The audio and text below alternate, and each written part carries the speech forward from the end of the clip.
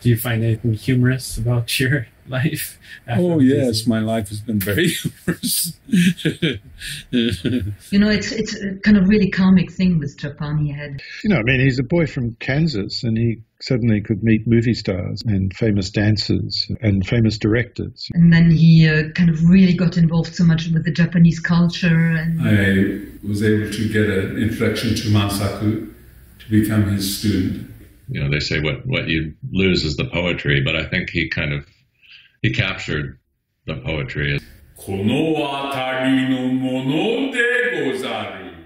And in English, I translate that as I am a resident of this neighborhood.